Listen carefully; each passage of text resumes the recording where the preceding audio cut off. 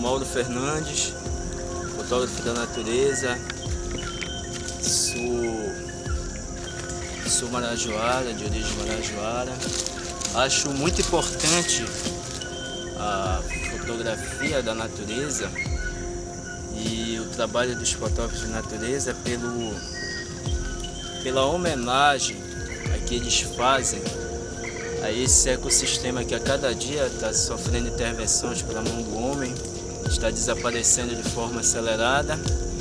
E o nosso trabalho ele é um trabalho que se torna às vezes uma referência pelo fato de a, da gente conseguir levar ao mundo não só a, a cultura local, mas a fauna e flora ameaçadas, espécies que hoje estão ameaçadas de extinção e algumas que até mesmo já desapareceram, mas que graças à fotografia puderam ser mostradas ao resto do mundo.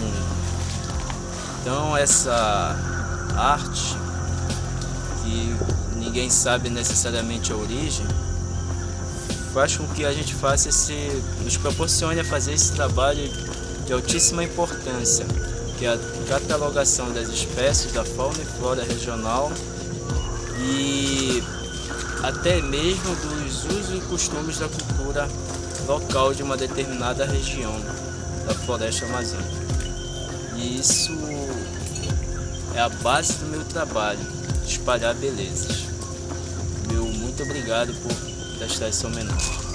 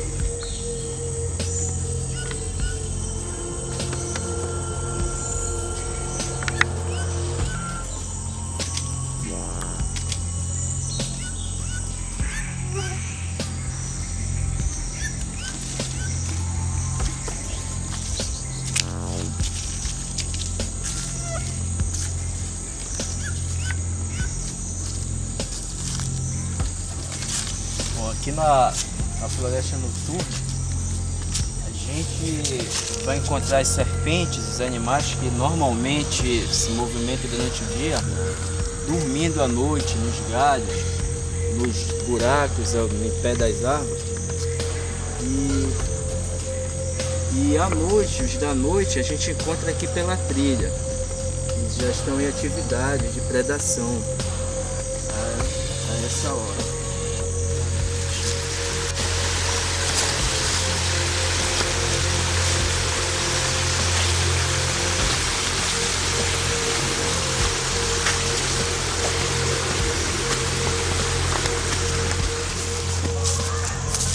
Espero que você tenha gostado desse passeio.